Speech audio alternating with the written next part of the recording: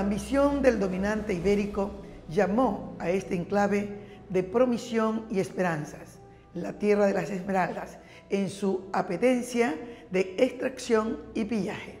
La independencia se fragua mucho antes del 5 de agosto. Nace en el mismísimo barco negrero, cuyo naufragio no fue casual, sino un motín en búsqueda de libertad. Agosto, mes del Bicentenario, recuento heroico de una independencia que se fraguó en la lucha permanente de negros, mulatos, blancos y mestizos.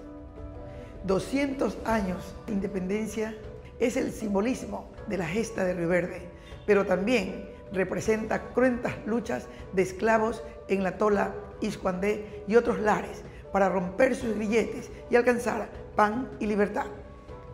El 5 de agosto de 1820, fragua libertaria donde no solo los criollos hijos de los españoles de cepa, también negros y mestizos que la historia no recoge, empujaron la rebelión contra un sistema colonial en decadencia.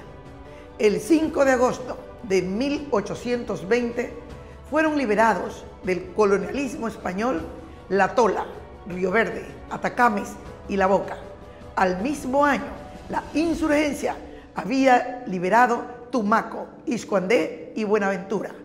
Los esclavizados no festejaron pues debieron continuar por territorio y libertad. Se cumple el bicentenario de la gesta que empezó con fuerza aquellos días de agosto de 1820.